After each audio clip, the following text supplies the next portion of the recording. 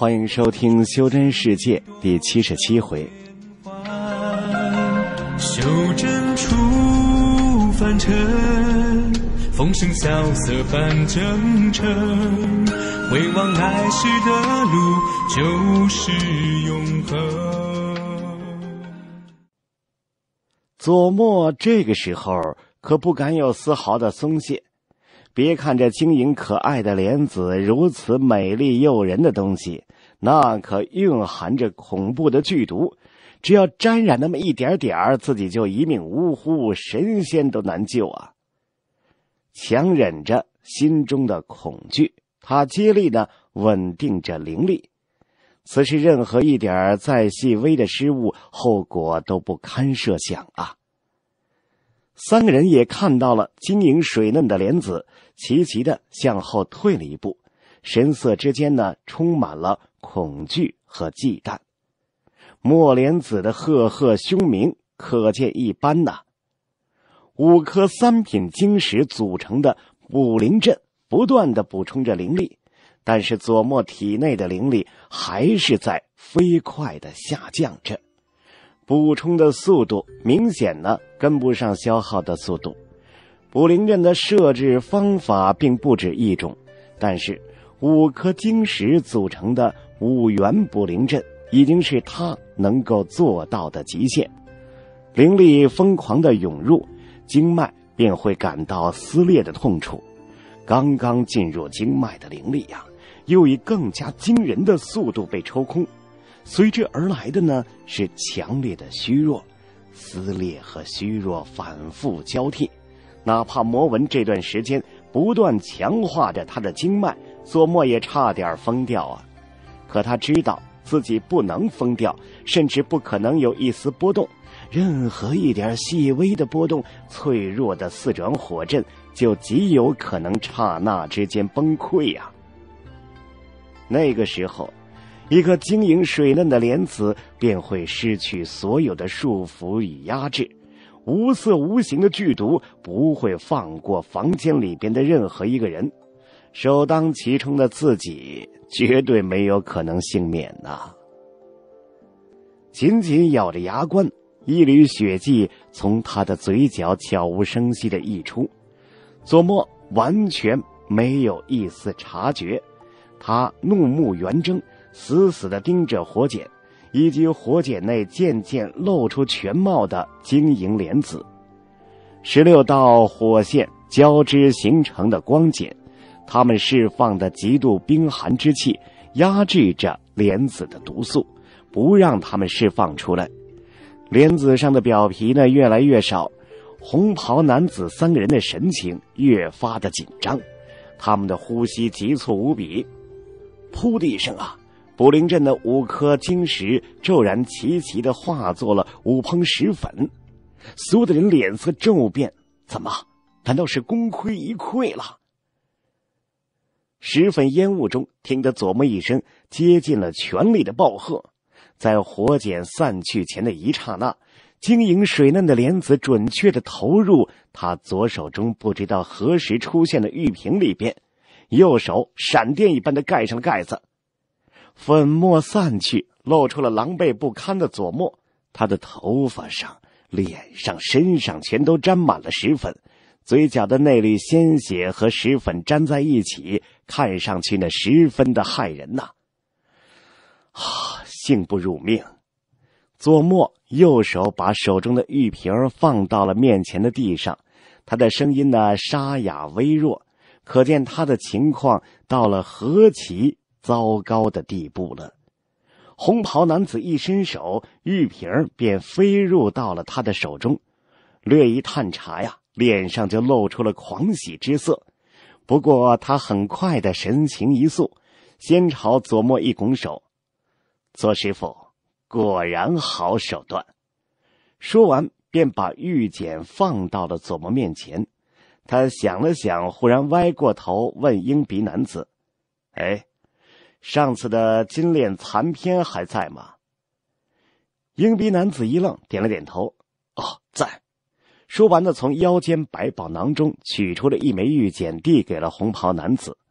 红袍男子把金链残篇同时放在了左墨面前，神色诚恳的说道：“左师傅，之前失礼之处，还请左师傅大人有大量，包涵包涵呐。这枚玉简是我兄弟无意之间得来的，便做赔罪之物吧。日后若有劳左师傅的地方，还请能多多帮忙啊。”此人厉害呀！左墨心中暗自凛然，对方这一手漂亮的很呐，便是他心中有怨气。光听这枚玉简的名字，左墨便知道自己没有办法抵挡，他只好苦笑着说道：“只要别像今天这样玩命就行了。”哈哈哈哈哈！左师傅说笑了，这次确实我等猛了。不过，若非如此，也难见左师傅这般惊天的手段呐！红袍男子豪爽的笑道，说完拱手告辞：“好吧，左师傅好好休息，我们就不叨扰了。”三个人转身离去了。劫后余生的左墨这才松了一口气呀！藏在袖子里边的左手松开了那张符兵。哎呀！这次，那可真是元气大伤啊！不过呢，看着面前的两枚玉简，他又觉得哎，没白干。早就被吓得半死的李英凤，连忙拿来了一大堆的灵丹呐，连声劝左墨干脆回悟空山算了，这生意做的太危险了呀。第二天。当李英凤看到昨天还奄奄一息的左墨像平时一般活蹦乱跳的时候，顿时傻了眼了。师弟看上去这么弱不禁风，难道是外干中强吗？体内伤势比左墨想象的要好许多，他现在身上的魔纹对恢复有着极大的帮助。他本来呢也以为自己要休养个十天半个月的，没想到啊，这第二天便好了大半。当然了，他离痊愈呢，那还是需要几天的时间的。在没有痊愈之前，他决定回山一趟。那些宁脉期修者的脾气可不怎么样，万一又有宁脉期修者找上门来，那可就不妙了。驾着傻鸟，左墨迅速的回到了自己的小院回到了悟空山，他的心才终于落地。别看悟空剑门小，但是从来没有人敢在掌门他们在山中的时候来惹事儿的。魏胜师兄筑基的那天晚上，心言师伯一剑震慑了无数修者的画面，他还记忆犹新。同时有四名金丹期修者坐镇的门派，放眼东府也是没有几个的。只可惜呀，伟胜师兄不在门中，这令他感到呢有些遗憾。从巨额的债务中挣脱了出来，又收获了大量的玉简，这对他来说呀，现在无疑是相当惬意的时期。他一边养着伤，一边研究着手上的这些玉简。他这来的玉简是五花八门，什么都有。不过精品并不算多。其实他现在并不缺玉简，门中的所有的玉简全都对内门弟子开放。师傅的典籍是，左墨也可以随时去。光这些玉简呢，都需要左墨花费大量的时间。但是啊，门中唯独少了他最需要的符阵玉简。他也不得不用这个办法呢，来收集符阵玉简。他收了不少符阵方面的玉简，但是呢，这些玉简都十分的零散，不成系统。好在左墨也不是太过挑剔的人，能有这么多他能学习的玉简，他已经是相当的满足了。在几枚精品玉简当中，有一篇名为《青花》的剑诀，颇为的精妙。只是过于阴柔，适合女子，留在手上也没有用。左墨决定啊，把这部剑诀送给小果。李英凤师姐现在几乎从来不修炼剑诀了，每天呢只忙着打理生意。可是当左墨跑到东风的时候，才得知小果已经筑基成功，成为了内门弟子，同样的拜在了施凤荣的脉下。没有想到啊，小丫头倒成了自己的亲师妹了。当佐墨找到一处山谷，看到谷口苹果形的木牌上写的“小果的家”，顿时哑然失笑。小果的山谷没有禁制，佐墨呢大摇大摆的走了进去。这正在练剑诀的小果看到佐墨，先是一愣，然后露出了欣喜之色，但旋即呢又怯生生的喊了一句：“师兄，啊，练得不错。”左墨随口夸了一句，其实，在他看来呀，小果的剑诀那是破绽百出，图具其形。随手呢就把那枚青花剑诀丢给了小果，喏，这个给你，你呀可以参考一下。他又问了几句，心中顿时了然，师傅依然在闭关炼丹，根本就没有时间指点小果。看着那张苹果脸上的汗水。左莫觉得有必要尽一尽师兄的义务，便开始呢一点一点的指点。他毕竟啊修炼剑诀颇久，虽然说不如伟圣师兄精深，但是到底领悟了两种剑意，目光见识比起秦城等人那都要胜上许多了。你基础太差了，佐墨这句话一说出来。小果眼中的泪水顿时涌了上来，但是呢，强忍着没有哭出来。啊，以后你每天可以到我山谷来练剑，我有空啊就帮你看看。佐墨接下来的这句话，顿时让小果呢是破涕为笑。网每日内容持续更新，超酷声音尽在畅听网，三 w 点听八五点 com。西风小院左莫晒着太阳，闭着眼睛悠闲的躺在藤椅上，一晃一晃的，脑海中在琢磨记下来的玉简。在他不远处呢，小果默不作声的一遍遍的练着剑，苹果脸上全都是汗水。屋顶上是傻鸟傲然挺立。不时的用蓝慧收拾着自己雪白的羽毛啊！遇到一个难题而心情大是不爽的佐墨睁开了眼睛，正好看到了傻鸟那副臭美的样子，顿时更加的不爽，从地上捡起了一块石头，一抖手朝傻鸟砸去，骚爆！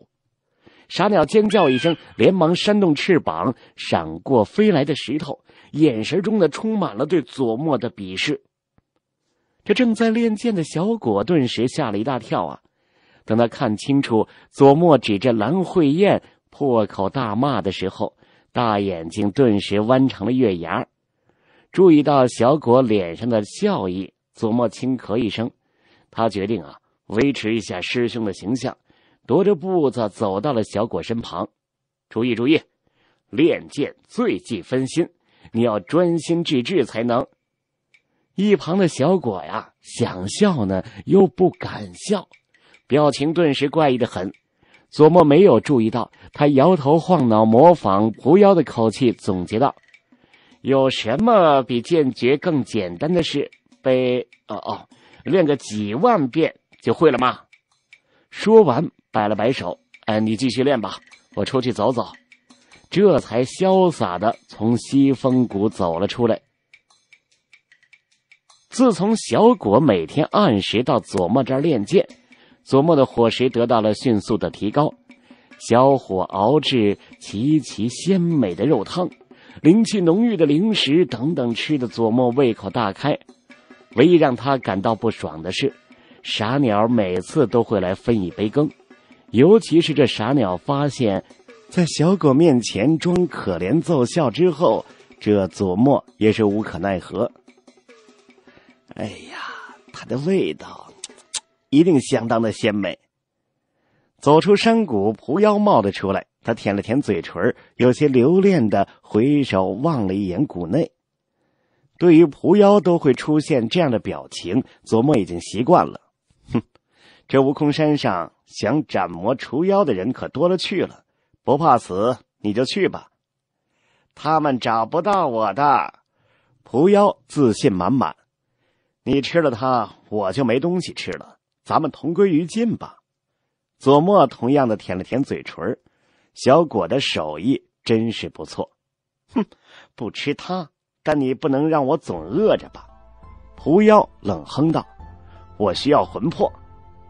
你不是说剑洞的阴煞还需要一段时间才能成型吗？”左墨学狐妖的样子，耸了耸肩。狐妖再次露出了很馋的表情。唉，今天应该差不多了。哎，我们去猎一两只，这解解馋也好嘛。说完，不带着左墨说话，便丢下了几颗晶石。只见光芒一闪，左墨便消失不见了。左墨可不是第一次来剑洞了，但是每次来，他都不由得赞叹万分。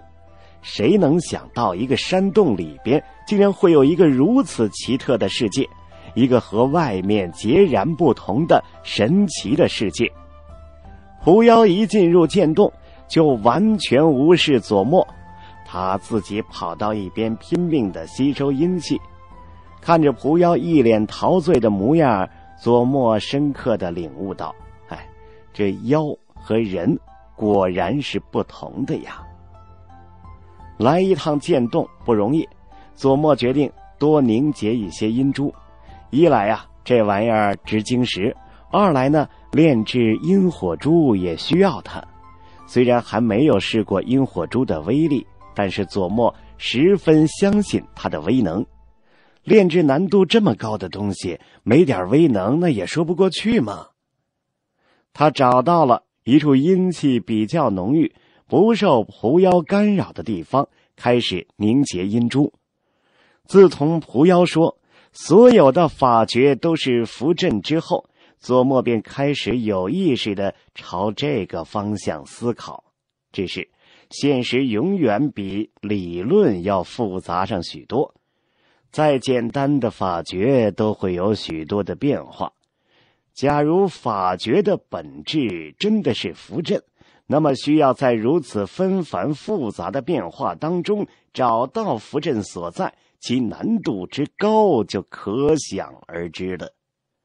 很快的，左墨便沉浸在摸索的世界当中。只见他手上的动作呀，忽快忽慢，看不出章法，脸上依然没有任何的表情，目光是呆滞游离，似乎呢神游物外一般呐。双手周围的阴气忽聚忽散，还时不时的崩散了。他就像是没有察觉一般呐。双手食指呢，不断的变化着，犹如着了魔。睁开眼的蒲妖看到这左墨的情况，疯狂的涌向他身体的阴气微微一滞，他重新的闭上了眼。周围的阴气呢，以更加疯狂的速度涌向了他。左墨双手指法渐渐的变得开始有章法起来，朝他手中汇集的阴气的速度也一点一点的加快，一颗阴珠逐渐成型。当手上阴珠完成的时候，左墨也从失魂状态回过魂来，他把刚刚凝结而成的阴珠放到了眼前，不由得有些失望啊。眼前的这颗阴珠。和以前凝结的阴珠没有什么区别，唯一不同的是，在时间上要比以前快上一点。这一点啊，非常的短暂。若不是琢磨仔细，只怕都不会有任何的感觉。虽然这只是个微不足道的进步，但是对左墨却是极大的鼓励啊！虽然有些失望，但也明白，研究法诀的符阵对眼下的他来说。那还是相当的困难的，不过起码说明啊，方向没错。只要方向没弄错，慢慢的走下去，总会有所进步。他刚才呢做了一个大胆的小调整，便是这个他也不甚明了的调整，让阴珠的凝结的时间要快了一些。或许等自己的符阵方面的造诣更高一些，就不会这么吃力了。左墨如此安慰自己。在这之后，他便没有把时间呢花在继续倒腾上，而是开始认真的凝结阴珠。他一口气儿啊凝了三十粒阴珠，这才罢休。吸饱了阴气的蒲妖，看上去是容光焕发，一副满足的表情。他飘到了左墨身边，去猎一两只阴煞吧。那模样啊，就像馋极了的小孩想吃肉一般呢。你自己可以去猎。左墨有些奇怪的说道：“蒲妖的实力比起他可要强得多，没道理找他来帮忙吧？”狐妖撇了撇嘴，有些无奈的说：“哼，我出手，这阴煞的味道 就不好了。真的假的呀？”左墨有些不相信。狐妖耸了耸肩，没有解释。左墨寻思着，还是不要太得罪这人妖啊比较好。狐妖对魂魄有太多的渴望，他相当的了解。猎阴煞。那总比让他去杀人夺魄要好得多吧？好吧，不过我的实力你也清楚。左墨提醒着蒲妖，蒲妖一听大为兴奋呐，足够了！这种破地方能出什么厉害的阴煞？哎呀，我们要赶在你师兄之前进来，那或许还有几个不错的货色呀。为什么？左墨听到这儿感到非常的奇怪。怎么？难道这里边还有什么好东西吗？只求一生中再不会留下什么遗憾。青山遥，欲知后事如何，欢迎各位继续关注收听《修真世界》第七十八回。